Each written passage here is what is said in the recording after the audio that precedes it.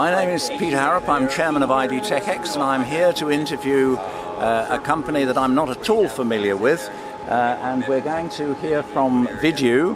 Uh, the uh, person on her left is not in a good position to talk to us.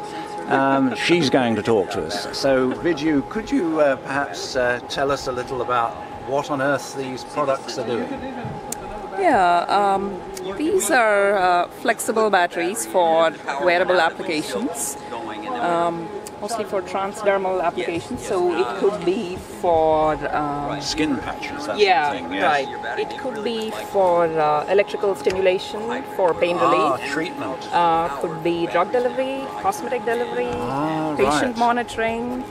Right. Um, and they're disposable batteries or rechargeable? These are disposable. These are a zinc carbon chemistry. Okay. and um, so they could easily be um, disposed of, and uh, there's no safety issue with them. No, absolutely. They Yeah. can be chewed, can't they, and so on. They, they, um, they wouldn't don't do that, store but- a lot of electricity, but presumably adequate. What, what are the uniques that you bring to the party? Uh, there, there are some other companies doing something nominally similar, but I, what is the advantage of your product?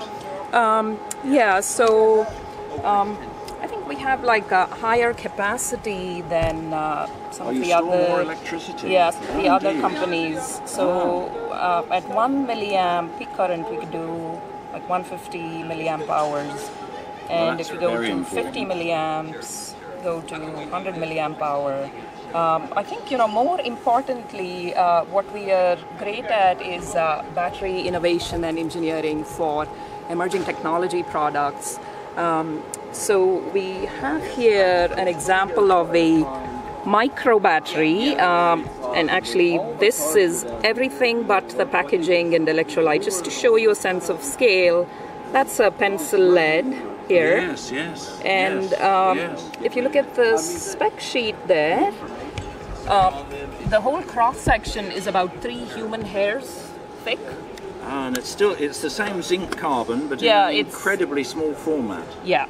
Right, right. And does this have a reasonable shelf life? It's uh, Um, so this is actually a battery we are developing for um, one of our partners. So I mean, I can't give you very much detail about this, No, unfortunately. confidential, I understand, Um, yes. Except to say that we really push the limits of uh, battery innovation. So, wonderful. um, that's that's most exciting.